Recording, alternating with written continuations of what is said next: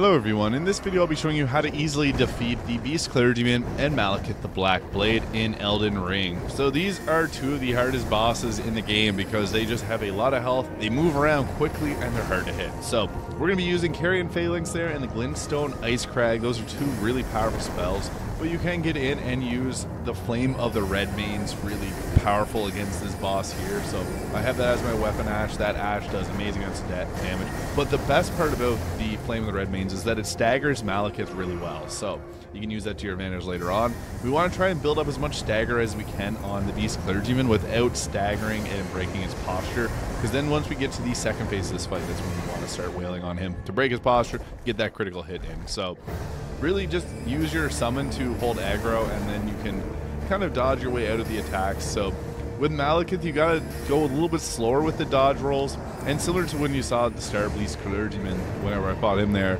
you want to be rolling into him. That's going to give you the least amount of frames in his attack radius. So, yeah, continue to spam Glintstone Ice Crag. I found that this does crazy amounts of damage because, one, like whenever you get frostbite, you're able to deal more damage to the target, but also it does a chunk of damage similar to bleed. So I found this completely shredded Maliketh. So if you got cold damage, it does a crazy amount of damage against it, and I would recommend using that. So it gets a little bit challenging here. So his attacks you want to avoid for the simple reason is they're going to be draining your health. As you can see there, I almost went to completely zero health.